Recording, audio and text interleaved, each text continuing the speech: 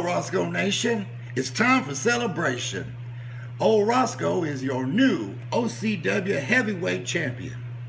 And you know, on July 3rd, 2003, my pappy died. And on July 3rd of this year, I won this belt. Now, my pappy, he was the biggest wrestling fan I've ever known. But he was always our go away kid, you bother me. This pro wrestling is the one thing he could have really got into. This one's for you in heaven, Pop. And you know, Mr. Lazer, I kind of have a problem with you. You got up in that ring and you disrespected Rufus, who's a part of my family, the Roscoe Nation, and then you went and messed with the actual power of the Bayou. And you expected to keep this? Uh-uh.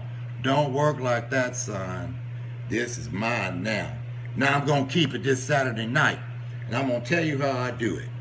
You know something? I'm going to make me a potion I'm going to rub on before I get on there to give me the power to deal with you. Because you is a tough nut to crack. But guess what?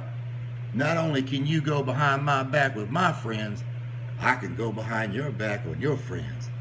I got a little tuft of your hair in here. And I'm going to put that right here in my potion. And you know what, son? I got you now. Just by that right there. I got a piece of you. You ain't even come close to getting a piece of me yet. I take a licking and I keep on ticking. And that's one thing you figured out. And then I'm going to put me some sumac in there to give me some lasting power. Some cedar so I can think clearly through the whole match. And I got me some muscadine to give me that power, power to knock you out when I need to. And a special little secret weed that I use from the uh, from out there in the bayou that uh, really kind of takes care of business for me. Gives me that little special edge. Concentrated Blood of the Nutria by Maureen Balbo. and a little bit of that honey sauce, honeysuckle sauce that I love so much to keep things lively. Roscoe Nation, you know where to be.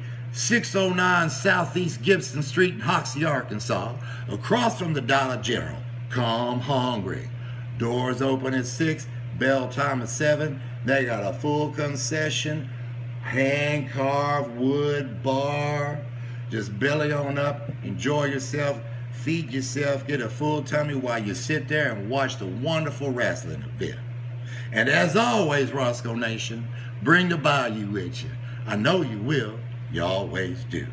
Bye, everybody. I'm the new champion. Yeah!